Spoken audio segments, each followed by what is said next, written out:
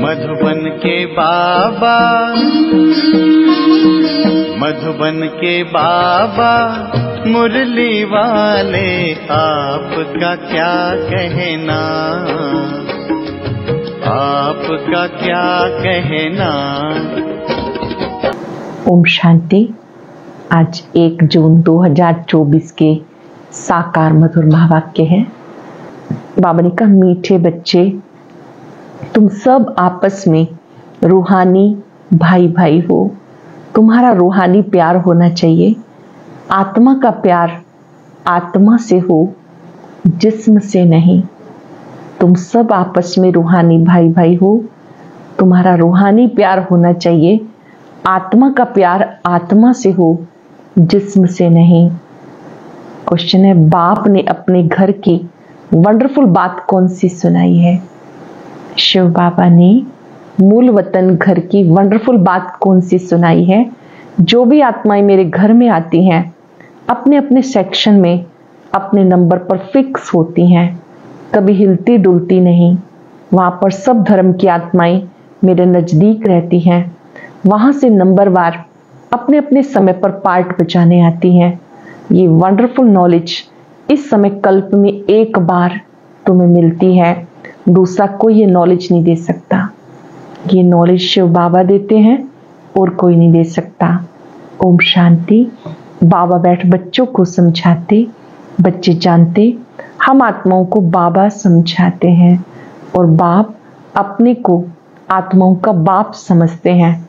ऐसे कोई समझते नहीं, ना कोई कभी समझाते कि अपने को आत्मा समझो। ये बाप ही आत्माओं को समझाते हैं। इस ज्ञान की प्रारब्ध तुम नई दुनिया में लेने वाले हो नंबरवार पुरुषार्थ अनुसार। ये भी कोई सभी को याद नहीं रहता कि दुनिया बदलने वाली है, बदलाने वाला बाप है, यहाँ सम्मुख बैठे हैं। जब घर में जाते हैं तो सारा दिन धंधे धोरे में लग जाते। बाबा की श्रीमत है। श्रीमत को अंडरलाइन करेंगे, बच्चे, कहीं भी रहते, कहीं भी रहते, कोई भी कार्य करते, मुझे याद करो। जो कन्या होती है जानती है कि हमें कौन पति मिलेगा। चित्र देखती है तो उनको याद ठहर जाती है। कहाँ भी रहते, एक दो को दोनों याद करते हैं। इसे कहा जाता है जिस्मानी प्यार। ये है रूहानी प्यार। रूहानी प्यार किसके साथ है? बच्चों का रूहानी बाप के साथ और बच्चों का बच्चों के साथ। तुम बच्चों का आपस में बहुत प्यार होना चाहिए। यानी आत्माओं का, आत्माओं के साथ रूहानी प्यार होना चाहिए। ये शिक्षा अभी तुम बच्चों को मिलती है। दुनिया के मनुष्यों को कुछ भी पता नहीं। तुम सब भाई भाई हो तो आपस में ज़रूर प्यार होना चाहिए, क्योंकि एक बाप के बच्चे हो। इसे कहा जाता रूहानी प्यार। ड्रामा प्लान अनुसार, सिर्फ़ पुरुषोत्तम संगम युग पर रूहानी बाप, रूहानी बच्चों को समुख समझाते हैं, और बच्चे जानते, बाप यहाँ आए हुए हैं। हम बच्चों को गुल गुल पवित्र पतित से पावन बनाकर साथ ले जाएँगे। ऐसे नहीं कि कोई हाथ पकड़ के ले जाते हैं, सब आत्माएँ ऐसे उड़ेंगी जैसे टिड्डियों का झुंड जाता है। उनका कोई गाइड होता है। गाइड के साथ और भी गाइड्स होते हैं जो फ्रंट में रहते हैं। सारा झुंड जब इकट्ठा जाता है तो बहुत आवाज़ होती है। सूर्य की रोशनी को भी ढक देते हैं। इतना बड़ा झुंड होता है। तुम आत्माओं को तुम आत्माओं का भी कितना बड़ा झुंड है। कभी गिनती भी नहीं कर सकते। यहाँ मनुष्यों की गिनती नहीं कर सकते। भले आदमशुमारी निकालते हैं, वो भी एक्यूरेट नहीं निकालते। आत्माएँ कितनी हैं, वो हिसाब कभी निकाल नहीं सकते। अंदाज लगाया जाता, सत्यों में कितने मनुष्य होंगे, क्योंकि सिर्फ़ भारत ही रह जाता। तुम्हारी बुद्धि में है, हम विश्व के मालिक बन रहे हैं। आत्मा जब शरीर में है तो जीव आत्मा है। तो दोनों इकट्ठे सुख अथवा दुख भोगते हैं। ऐसे बहुत लोग समझते हैं, आत्मा ही परमात्मा है। कई मनुष्य जानते ही नहीं कि आत्मा का पिता है परमात्मा। आत्मा ही परमात्मा नहीं, भले ही दोनों का रूप एक जैसा है, गुण और शक्तियों में तो अंतर है। वो कभी दुख नहीं भोगती, निर्लेप है। बहुत इस बात से भी मूझते हैं कि हम अपने को आत्मा निश्चय तो करें, पर बाबा को कहाँ याद करें, ये तो जानते हो। बाप परम धाम निवासी है। बाबा ने अपना परिचय दिया हुआ है। शिव बाबा ने परिचय दिया कि मैं वहाँ का निवासी हूँ। बाबा ने अपना परिचय दिया, कहाँ भी चलते फिरते, बाबा को याद करो। बाप कहते बाप कहते, मैं परम धाम से आता हूँ। तुम्हारी भी आत्मा वहाँ से यहाँ आती है पार्ट बचाने ये ज्ञान अभी मिलता है। अब तुम देवता हो। वहाँ तुम्हें याद नहीं रहता कि फलाने फलाने धर्म की आत्माएँ ऊपर में है। ऊपर से आकर यहाँ शरीर धारण कर पाठ बजाती है। ये चिंतन वहाँ नहीं रह चलता। आगे ये पता नहीं था कि बाबा भी परम धाम में रहते हैं। वहाँ से यहाँ आकर शरीर में प्रवेश करते हैं। अब वो किस प्रकार से शरीर में प्रवेश करते हैं, वह अपनी एड्रेस तो बताते हैं। तुम अगर लिखो, Shiv Baba care of Prajapita Brahma, Shiv Baba care of Paramdham तो परम धाम में तो चिट्ठी नहीं जा सकती। इसलिए लिखते हो शिव बाबा केयर ऑफ़ ब्रह्मा। फिर यहाँ की एड्रेस डालते हो, क्योंकि तुम जानते हो, बाबा यहाँ आते हैं। इस रथ में प्रवेश करते हैं। शिव बाबा, ब्रह्मा तन में प्रवेश करते हैं। यूँ तो आत्माएँ ऊपर रहने वाली हैं। तुम सब भाई भाई हो। सदैव ये समझो हम आत्मा है, इनका फलाना नाम है। है ये आत्मा? इस आत्मा के शरीर का फलाना नाम है। आत्मा को यहाँ देखते हैं। परंतु मनुष्य देवमान में आ जाते, बाप देही अभिमानी बनाते। बाबा कहते, अपने को आत्मा समझो, मुझे याद करो। इस समय बाबा समझाते, मैं यहाँ आया हूँ, आकर बच्चों को ज्ञान देता हूँ। पुराने ऑर्गन्स लिए हैं, इसमें मुख्य ये मुख है, आँखें हैं ज्ञान अमृत मुख से मिलता है। गौ मुख कहते हैं ना, शिव बाबा ने ब्रह्मा तन का आधार लिया। उसमें बाबा कहते, मैं नेत्रों को भी यूज़ करता हूँ मुख को भी यूज़ करता हूँ। इसलिए गौमुख कहते हैं। अर्थात माला का ये मुख है। माता का ये मुख है। बड़ी माता द्वारा तुम्हें अडॉप्ट करते हैं। कौन करते हैं? शिव बाबा। वो यहाँ है ना, ये ज्ञान सारा बुद्धि में रहना चाहिए। मैं तुम्हें प्रजापिता ब्रह्मा द्वारा एडॉप्ट करता हूँ। तो ये माता हो गई। गाया जाता, तुम मात पिता, हम बालक तेरे तुम्हारी कृपा से सुख घनेरे तो वह सब आत्माओं का बाप है। उनको माता नहीं कहेंगे, वह तो बाप ही है। बाप से वर्षा मिलता है, फिर माता चाहिए। वो यहाँ आते हैं। अब तुम्हें मालूम पड़ा, बाप ऊपर में रहते हैं, हम आत्माएँ ऊपर रहती हैं, फिर वहाँ से यहाँ आती हैं पार्ट बचाने के लिए। दुनिया इन बातों को नहीं जानती। वे तो ठिक्कर भीतर में कह देते हैं, फिर तो अनगिनत हो जाए। इसे कहते घोर अंधियारा। गायन है, ज्ञान सूर्य प्रगटा, अज्ञान अधेर विनाश। इस समय तुम्हें ज्ञान है। यह है रावण राज्य, जिस कारण अंधियारा है।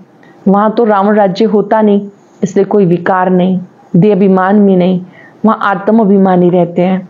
आत्मा को ज्ञान है, अब छोटा बच्चा है। अब हम जवान बन गए, अब वृद्ध शरीर हुआ, इसलिए अब ये शरीर छोड़, दूसरा लेना है। वहाँ ऐसा नहीं कहते फलाना मर गया। वहाँ कभी ऐसा नहीं कहते फलाना मर गया। वो तो है ही अमर लोग। खुशी से एक शरीर छोड़ दूसरा लेते हैं। अभी आयु पूरी हुई, ये छोड़ नया लेना है। इसलिए सन्यासी लोग सर्प का मिसाल देते हैं। मिसाल वास्तव में बाप का दिया हुआ है। वो फिर सन्यासी लोग उठा लेते। बाबा कहते, ये जो आत्मा में, ये जो ज्ञान मैं तुम्हें देता हूँ, ये प्राय लोग हो जाता है। बाप के अक्षर भी हैं तो चित्र भी हैं। परंतु जैसे आटे में नमक तो बाबा अर्थ समझाते, जैसे सर्प पुरानी खाल छोड़ देता है और नई लेता है। उसके लिए ऐसा नहीं कहेंगे कि एक शरीर छोड़ दूसरे में प्रवेश करते नहीं, खाल बदलने का एक सर्प का ही मिसाल है। ये खाल उनकी देखने में भी आती है। जैसे कपड़ा उतारा जाता, वैसे सर्प भी खाल छोड़ देता है और दूसरी मिल जाती है। सर्प तो ज़िंदा ही रहता है। ऐसे भी नहीं कि सदैव अमर रहता है। दो तीन खाल बदली कर, फिर मर जाएँगे। वहाँ भी तुम समय पर एक शरीर छोड़, फिर दूसरा लेते हो। जानते हो, अभी हमें गर्भ में जाना है। वहाँ तो है योग बल की बात। योग बल से तुम जन्मते हो। इसीलिए अमर कहा जाता? आत्मा कहती, अब हम बूढ़ा हो गया हूँ। शरीर पुराना हुआ। साक्षात्कार हो जाता। अब हम जाकर छोटा बच्चा बनूँगा। आप ही शरीर छोड़ आत्मा भाग कर जाए, छोटे बच्चे में प्रवेश करती है। उस गर्भ को जेल नहीं महल कहा जाता। पाप तो कोई होते नहीं जो भोगना पड़े। गर्भ महल में आराम से रहते हैं और कोई बात नहीं, ना ही कोई गंदी चीज़ खिलाते हैं जिससे बीमार हो जाए। बाप कहते, बच्चे, अब तुम्हें निर्वाण धाम जाना है। ये दुनिया बदलनी है। पुरानी से नई बननी है। हर चीज़ बदलती है। झाड़ से बीज निकालते, फिर बीज, फिर से बीज लगाओ, कितना फल मिलता है। एक बीज से कितने दाने निकलते। सत्युग में एक ही बच्चा पैदा होता, योग बल से। वहाँ विकार से, यहाँ तो विकार से चार पाँच बच्चे पैदा करते। सत्युग और कलयुग में बहुत फ़र्क है। तो बाप कहते, नई दुनिया, फिर पुरानी कैसे होती है? उसमें आत्मा कैसे चौरासी जन्म लेती? ये समझाया जाता। हर एक आत्मा अपना अपना पार्ट बचाकर जब जाएगी तो अपनी अपनी जगह पे खड़ी हो जाएगी। आत्मा देह लेकर पार्ट बचाती है देह रूपी ड्रेस लेती है, फिर यहीं छोड़कर मूल वतन पहुँचती है, अपना पार्ट बजाती है। जगह बदलती नहीं अपने अपने धर्म में अपनी जगह पर नंबरवार खड़े होंगे, फिर नंबरवार ही नीचे आना है। इसलिए छोटे छोटे मॉडल्स बनाकर रखते मूल वतन के। सब धर्मों का अपना अपना सेक्शन है। देवी देवता है पहला धर्म, फिर नंबरवार आते हैं। नंबरवार ही जाकर रहेंगे। तुम भी नंबरवार पास होते हो। उन मार्क्स के हिसाब से जगह लेते हो। बाप की पढ़ाई कल्प में एक बार होती है। तुम आत्माओं का कितना छोटा सिजरा होगा। जैसे तुम्हारा इतना बड़ा झाड़ है। तुम बच्चों ने दिव्य दृष्टि से देखकर फिर यहाँ बैठकर चित्र आदि बनाए। आत्मा कितनी छोटी है और शरीर कितना बड़ा, सब आत्माएँ वहाँ जाकर बैठेंगी। मूल वतन में सब ज्योति बिंदु आत्माएँ स्टार माफिक जाकर बैठ जाएँगी। बहुत थोड़ी जगह में नज़दीक में जाकर रहती हैं। मनुष्यों का झाड़ कितना बड़ा है। मनुष्यों को तो जगह चाहिए ना, चलने, फिरने, खेलने, पढ़ने, नौकरी करने के लिए। सब कुछ करने के लिए जगह चाहिए। निराकारी दुनिया में आत्माओं की छोटी सी जगह होगी। इसलिए इन चित्रों में भी दिखाया, बना बनाया नाटक है। शरीर छोड़कर आत्माओं को वहाँ जाना है। तुम बच्चों की बुद्धि में है, वहाँ हम कैसे रहते हैं? और दूसरे धर्म कैसे रहते हैं? फिर कैसे अलग अलग होते हैं नंबरवार ये बातें तुम्हें कल्प कल्प बाबा आके सुनाते। बाकी सब जिस्मानी पढ़ाई, उनको रूहानी पढ़ाई नहीं कह सकते। अब तुम जानते हो कि हम आत्मा है। आई माना आत्मा माई माना मेरा, ये शरीर है। मनुष्य नहीं जानते, उनका सदैव दैहिक संबंध रहता।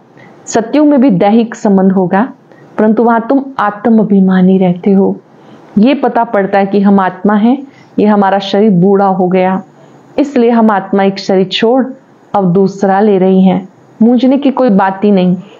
तुम बच्चों को बाप से राजाई लेनी है। ज़रूर बेहद का बाप है ना?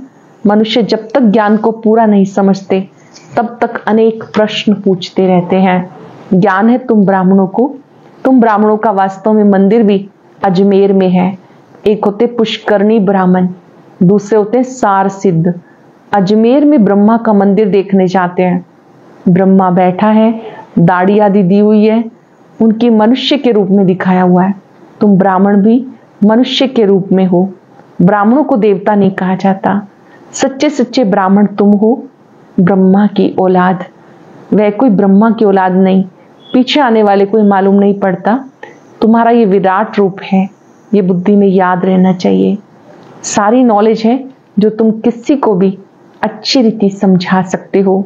हम आत्मा है, बाबा के बच्चे हैं, ये यथार्थ रीति समझकर पक्का पक्का निश्चय कराओ कोई भी मिले तो पहले पक्का निश्चय कराओ कि आप आत्मा हैं आप शिव बाबा के बच्चे हैं और परम धाम से यहाँ आए हैं पार्ट बचाने।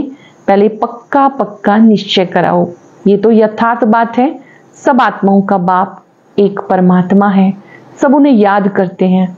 हे भगवान, मनुष्यों के मुख से ज़रूर निकलता है। परमात्मा कौन है? ये बात कोई भी नहीं जानते। जब तक कि बाप आके समझाए।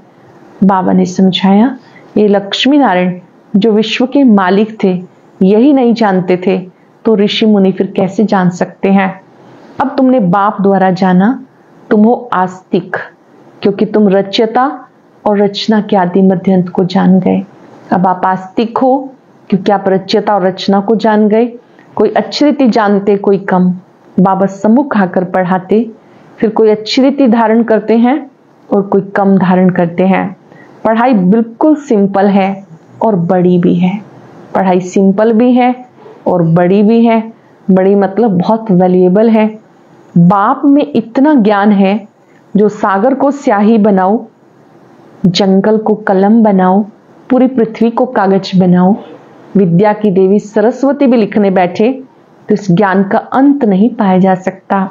बाबा सहज करके समझाते बाबा को जानना है और स्वदर्शन चक्रधारी बनना है। बस, शिव बाबा को जानना है स्वदर्शन चक्रधारी बनना है बस अच्छा मीठे मीठे सिक्के लदे बच्चों प्रति मात पिता बाप दादा का याद प्यार गुड मॉर्निंग रूहानी बाप की रूहानी बच्चों को नमस्ते रूहानी बच्चों की रूहानी बाप दादा को याद प्यार नमस्ते गुड मॉर्निंग शुक्रिया बाबा शुक्रिया धारणा के लिए सार पहली पॉइंट है सदा याद सहज बनी रहे सदा याद सहज बनी रहे।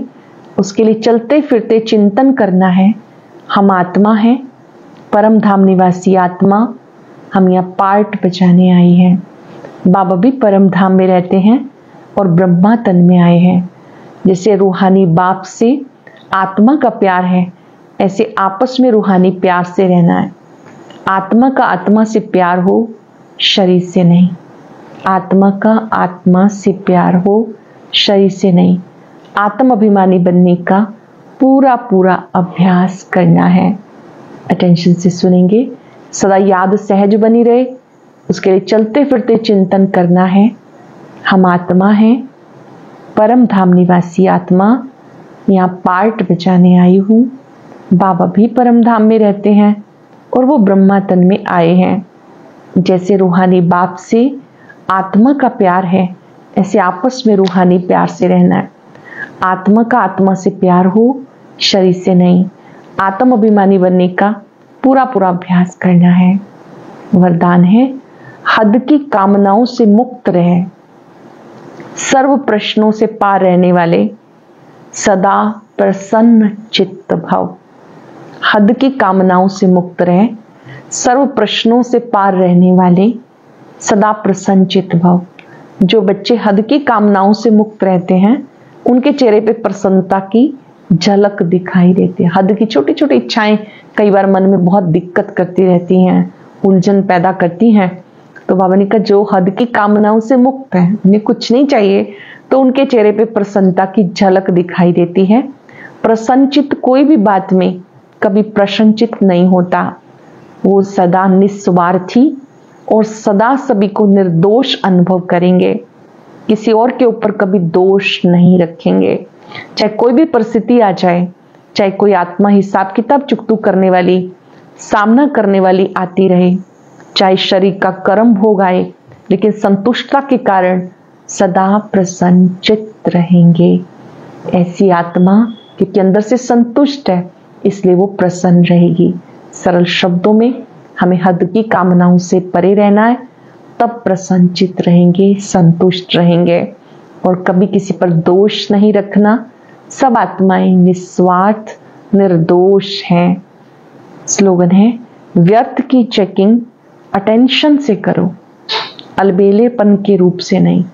मेरा व्यर्थ कहाँ कहाँ छिपा हुआ है?